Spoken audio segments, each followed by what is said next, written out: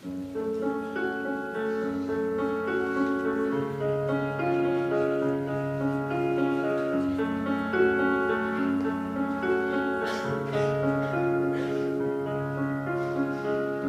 a black man is racist, is it okay?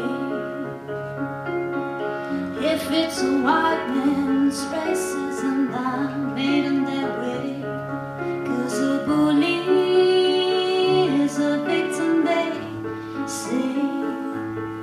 by some sin.